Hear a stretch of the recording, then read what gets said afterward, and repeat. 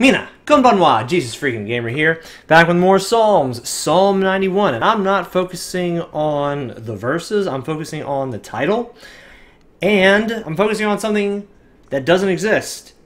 There's no title to Psalm 91. We have no idea who wrote it, we have no idea what it's about, the context is, what the song is based on, maybe somewhere in some history book or some other part of the Bible mentions where this psalm is from. Like maybe someone in the New Testament quoted saying, you know, this is what King David said, or this is what Asaph said, or this is what the sons of Korah said, and then quoted a part of this psalm. Maybe it's identified in that way, but other than that, we have a completely unidentified portion of Scripture. We have text, we know what it says, we have no idea who wrote it. And I think it's awesome that someone completely unidentified left something in the Word of God. Someone left something behind so worthwhile that it was kept, even though their name was not.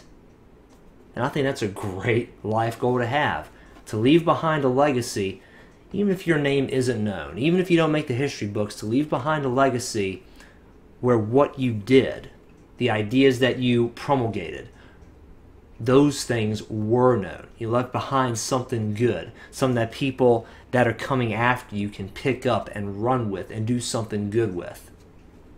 Because at the end of the day, it's not really, you know, I want to be remembered. I want my name, you know, written on the banners. At the end of the day, we want to make Jesus known. We want to make the Word of God known. We want to make His goodness, His love, and His truth known.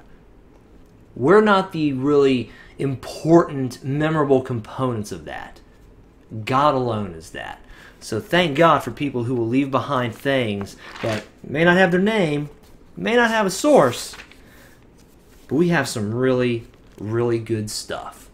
So that I'll say, and who knows, maybe my I'm guessing the same will probably be said of me, and probably the same will be said of most of us. Our names won't be written in any history book somewhere, but Maybe we'll leave something really good behind that someone after can say, you know what, I like that. Maybe even to say, I needed that. That's good stuff. So let's let's make that a goal to leave behind that good stuff. Maybe not maybe not our names, maybe not, you know, a personal marker, but to leave behind that really, really good, loving, godly stuff. Guys, thank you very much for watching this video. I love you. God bless.